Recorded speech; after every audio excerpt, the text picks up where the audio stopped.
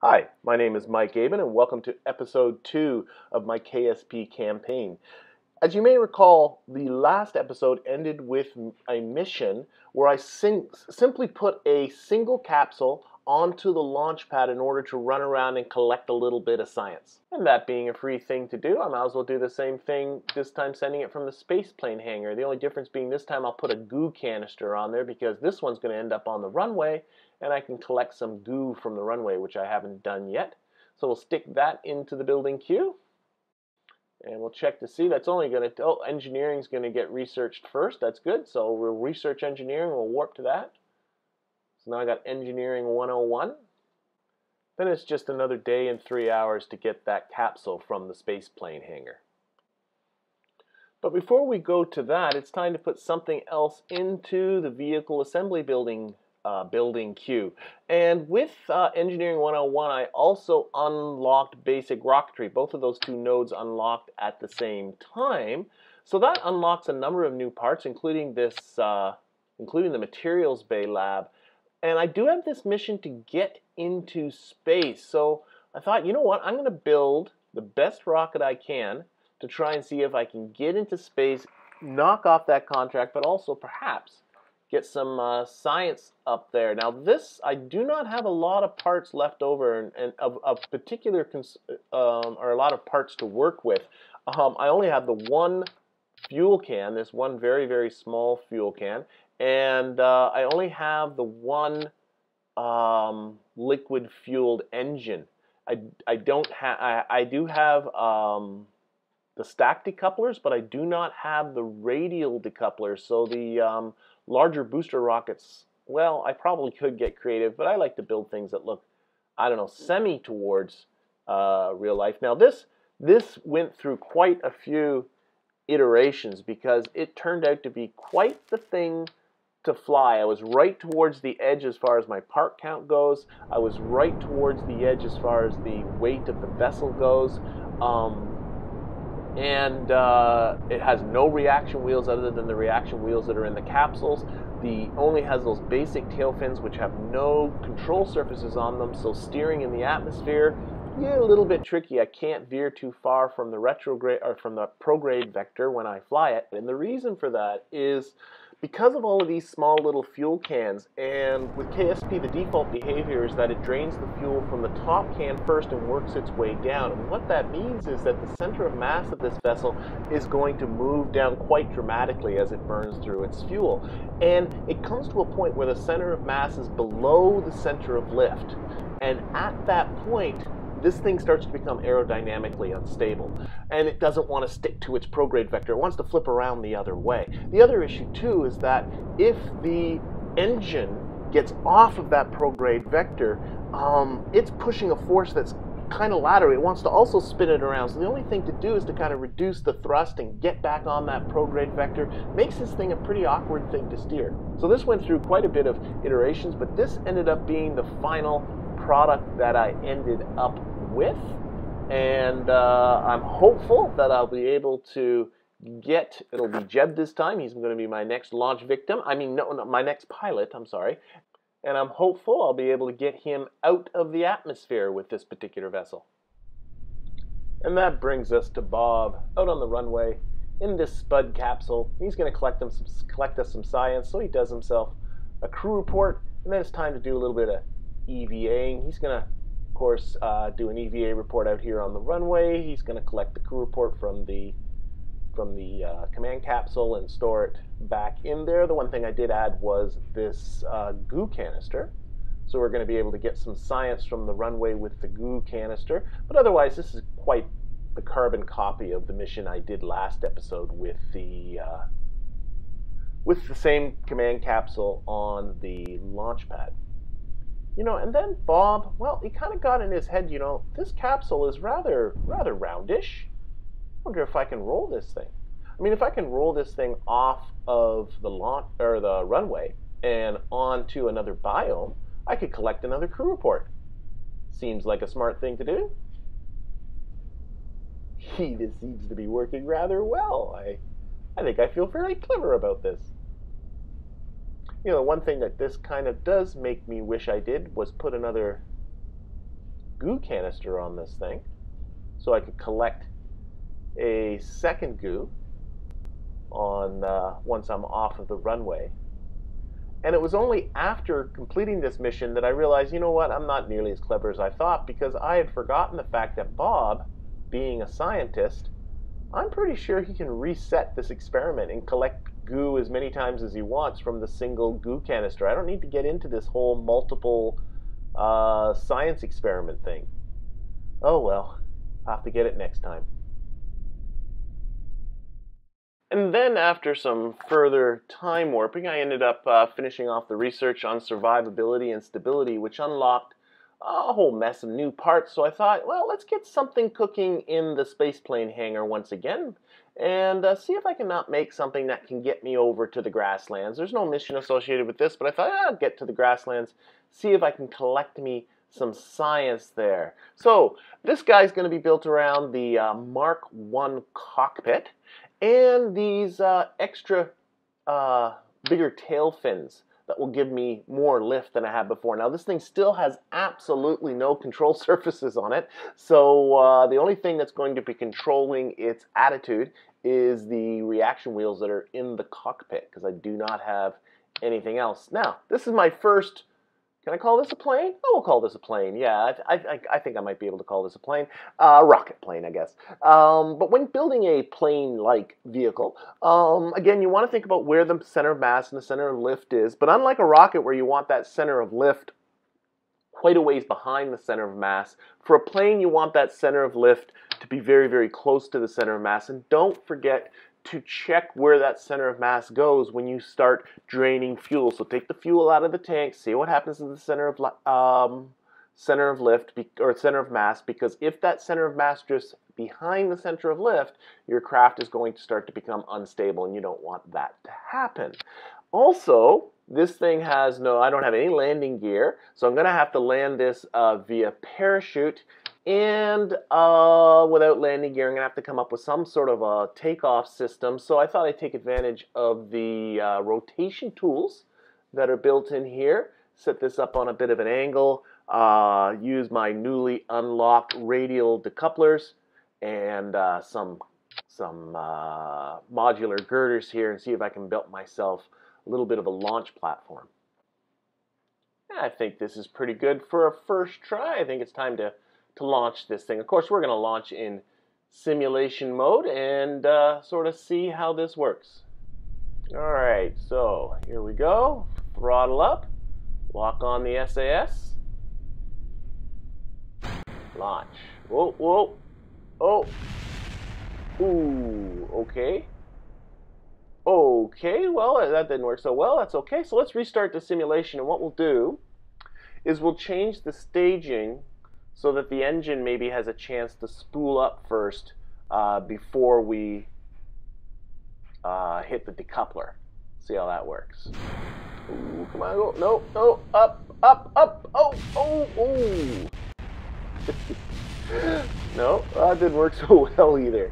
I think I'm going to need to go back to the editor and give this thing a bit more of a launch uh, angle. So launch it at a higher angle. We'll try that out. I'll also spin this thing around because I want to go to the grasslands. So I, I want this thing to be going the other way, not launching towards the water, but launching back towards the grasslands and the mountains that are the other direction from KSC, launching to the west. That's what I'm trying to say. Okay, so here we are, and oh, oh well, we'll go for it anyway. Obviously, I got to work on this uh, launch system a little bit, but we'll, we'll give this thing a try as it is. And off we go, and oh, oh, look at that. Okay, I don't care what anybody's saying, this is flying. Oh yes, we have ourselves a rocket plane. This is very nice, and actually it feels very, uh, it feels pretty good. Seem to be climbing at a pretty good rate. This is awesome. Jeb's certainly liking it. You know, I like this camera. I like the way the camera works now. I like the way the camera's not just locked on. It kind of jiggles around a little bit. This is really nice. Okay, can definitely get to the grasslands with this. Let's try turning. See how turning works. And oh, oh, oh, oh, oh, oh, oh, sort of sliding sideways. Lateral stability is a bit of an issue. I I think a tail fin might be in order. Either way, you know, considering the only control thing I have are the reaction wheels in the cockpit, this ain't so bad. This is pretty good. So you can see I've run out of fuel. So I'm kind of just gliding and we're going to have to come down with the parachutes. So we'll, we'll, we'll deploy those. And then we'll just cut down to, uh, to getting towards our landing. Okay, so here we are. The parachutes now have fully deployed. Um, a couple of things I don't like. I don't like that it's coming down on this bit of an angle. There's not much I can do about that. I can't control it. I'm trying to pitch forward, but this is as far forward as it's going to go. The other thing I don't like is that we are coming down at uh, oh, pretty much nine and a half meters per second. That seems a little fast, but we're about to touch down and find out if it is too fast.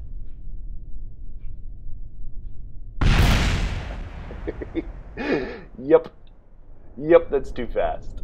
Okay, so this is obviously going to take some more tweaking, but as a proof of concept, I think that is worth uh, that that's worth exploring further. And further tweaking I did do, but I'm not going to spoil it for you because I want you to see the final craft when I go to use it for a mission. Uh, and, but that's going to have to be for in another episode because right now what we're going to do is we're going to send Jeb to space. This is the Mercury, which you saw going through its design pains earlier in the video. And one of the issues that it had was with its center of mass moving down too far. And I'm going to try and deal with that issue using another mod, TAC Fuel Balancer. And what I'm going to be doing is setting up so that the top four cans are going to be uh, retaining its their fuel right until the end. They'll be the last ones to uh, to drain their fuel. So I'm going to I'm using the highlighting tool to figure out which cans it is that I want to work with.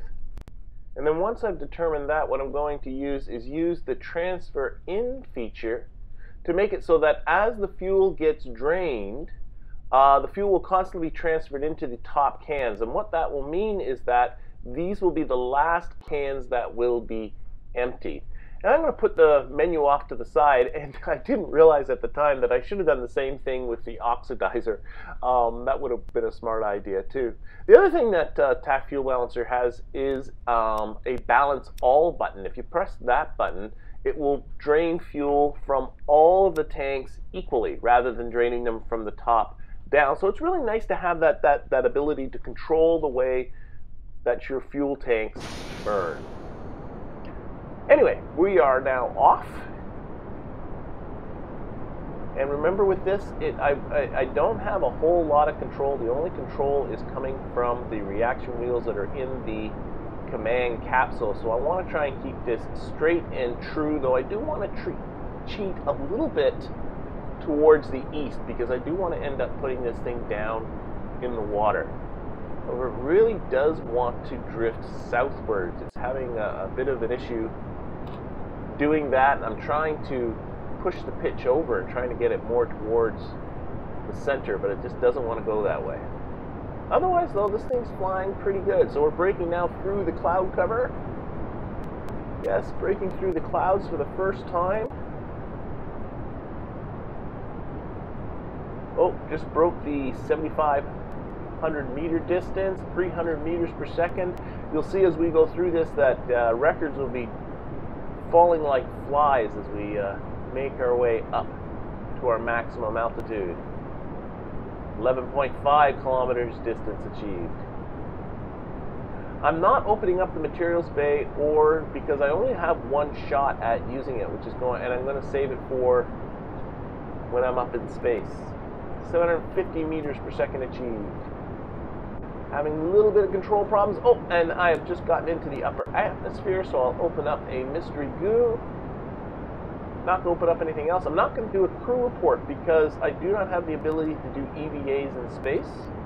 Uh, so I'm only going to be able to do one crew report because I won't have the ability to take the crew report and remove it and then store it back in like I've done in the past.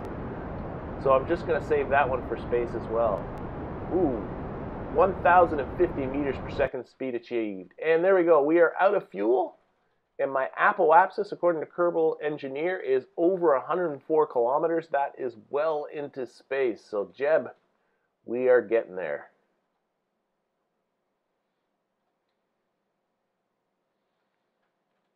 Twenty-eight kilometer distance. You can see the um, on the messages over there at the top right. We're now up to 12 messages, and all of those have just been basically uh, records being broken. 39 kilometer distance achieved. And there we go, 70 kilometer altitude. That puts us into space. So we'll do another mystery goo. We'll do the material study. And we'll do a crew report. Fortunately, we can't do an EVA so that's going to be it. Now, although we are in space, we are not going to be say, staying in space. You can see from our trajectory here that we're going to be revisiting the surface of Kerbin very, very soon. This is a suborbital trajectory. And some people get a little bit confused by this, that you think you get in space and that's all there is to it, but that's only half the battle. The other half of the battle is to achieve enough horizontal velocity that you stay there. The more horizontal velocity you get, the further you will travel before you end up impacting the surface once again. And the magic number as far as horizontal velocity is about 2.3 kilometers per second to stay in low orbit around Kerbin. And according to Kerbal Engineer, my current horizontal velocity is only in around 390 meters per second, not nearly enough for an orbit. So uh, yeah, this is this is going to do it. So the orbit's really got just two components to it. One is getting up into space, which is in Kerbal Space Program getting above 70 kilometers. The other half of it is getting the horizontal velocity, which I don't have. Now I'm going to ditch the ascent vehicle here. And what I like to do is turn myself to one of the normal vectors, and that pushes that off perpendicularly to the plane of my trajectory. And I like doing that because that means that that thing, unless it does some funky aerodynamic, funky flying, flying, uh, it's not going to encounter us again. If, if you if you eject the capsule, especially when you're going prograde or retrograde, you you still have that thing in your path, and uh, last thing you want to do is run into your own debris on your way back down. And we are now on our way back down. We have reached our maximum altitude and now going back down again. And this, I'm a little bit nervous at this point because when I tested this thing, I only got to about 75 kilometers before my fuel ran out. And uh, it re entered into the atmosphere without any issues from 75 kilometers. But now I'm dropping from about 104 kilometers. I haven't tested this. And you know, there is atmospheric heating now in uh, the full release of uh, Kerbal Space Program. So I'm going to be generating a lot more G's now that I'm falling from higher up because I'll be hitting the atmosphere at a greater velocity. That means generating more heat. Well, sorry, Jeb, you are in uncharted territory right now. We'll have to see how this works out. There we go. We're about to hit the atmosphere, so I've slowed the time warp down because I don't want to do this at a time warp speed and I'm going to keep it as I uh, pass through the atmosphere. I want to keep it on the retrograde vector.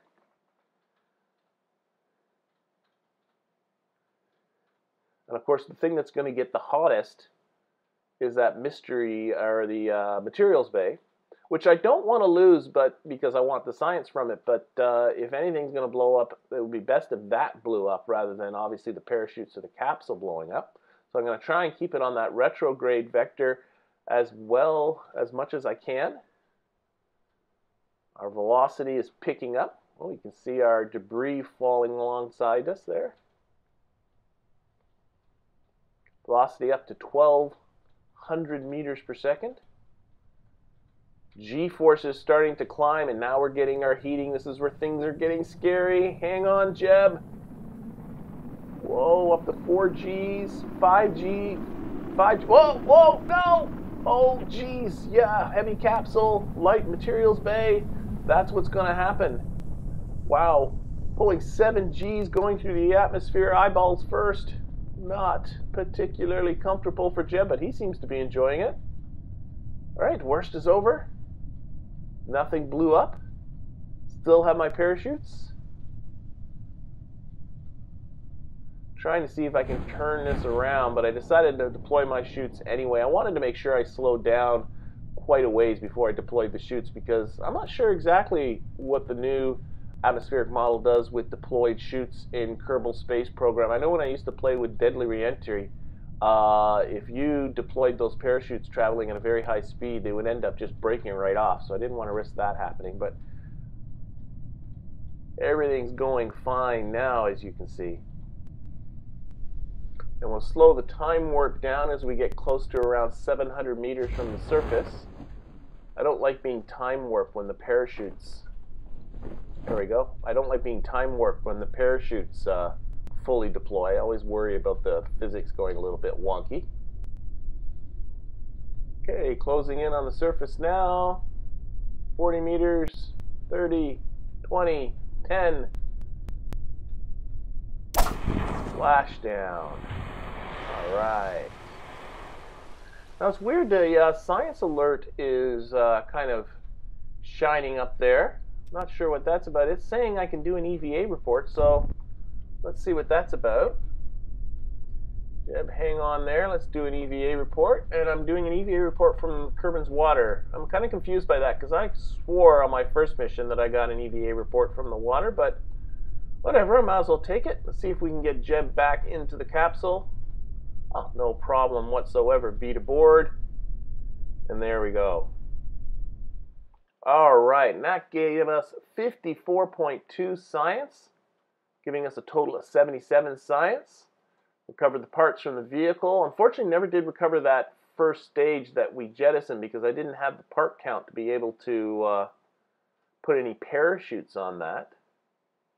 16 alerts here, almost all of these for various records that were broken. Plus, there was a contract to escape Kerbin's atmosphere, so that's great. Wow, so many records being broken. Uh, I'm not even going to list them all here. Uh, but they all added up to quite a substantial sum. You can see that besides almost having 78 science, now I also have over 440,000 Kerb bucks. So that's going to give me some flexibility. The science is going to allow me to unlock some more parts, and the money is going to give me some flexibility as to what to build and what to upgrade. But I think that's going to have to wait for the next episode. I hope to see you then.